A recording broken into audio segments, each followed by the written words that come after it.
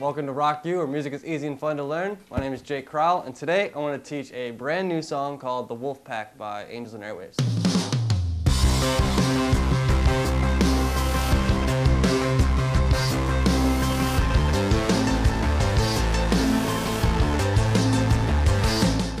Six, yeah, so it's going to be a 16th note hi-hat groove. It's going to be on one hand. One E and a two E and a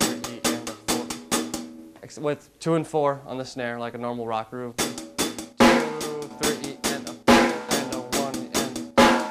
Except one minor thing, you're going to open the hi-hat on the E of three, which is, if you're doing what's called a Moeller stroke or a shank tip,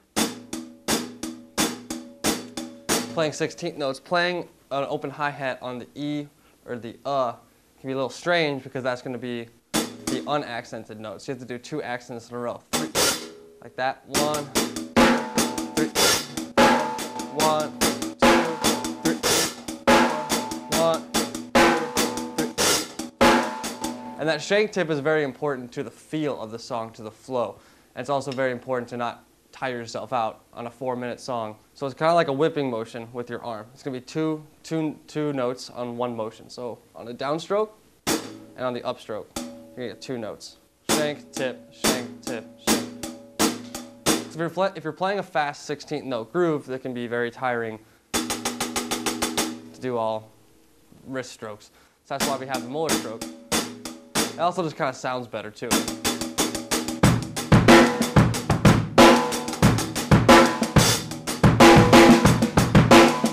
kind of better for the flow of the song.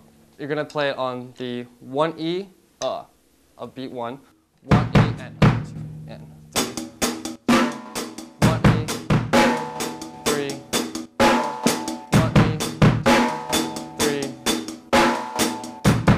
on and so forth.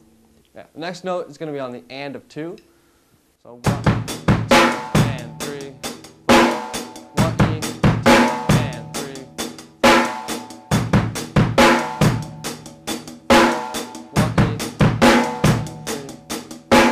So the last bass drum notes you have is where the open hi-hat comes in. You know you play the one E, you're also gonna play three E.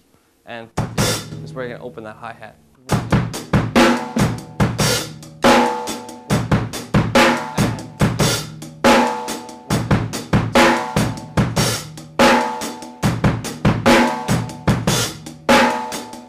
Now it's a four measure phrase, and so the first two times he plays this, the drummer, he does not open the hi hat, and then the second two times he does. So he's kind of making a musical phrase with the drums, because it is an instrument after all.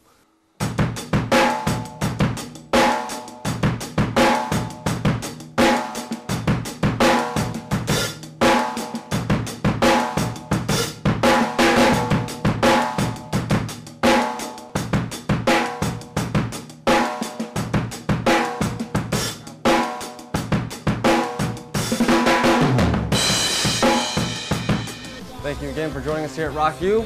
My name is Jake. We'll see you next time.